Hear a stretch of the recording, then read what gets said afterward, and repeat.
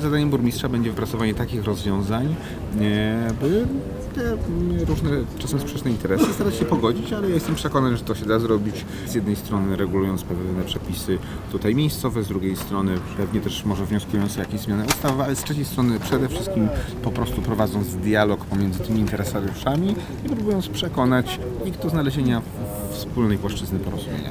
Moim zadaniem jako burmistrza jest rozmowa, dialog, I mamy w Krakowie trzy elementy, trzech interesariuszy. To są mieszkańcy, to są podmioty gospodarcze i to są turyści.